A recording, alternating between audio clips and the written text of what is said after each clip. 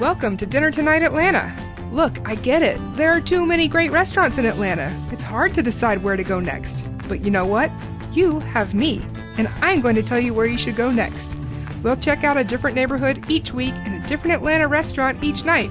This week, we're going to start tackling Buford Highway inside the perimeter. It's Wednesday night. We're going to Kajun Crab Pho and Seafood at 5000 Buford Highway. Have you ever had Vietnamese and Cajun fusion? Neither have I, and that's why we're going here tonight.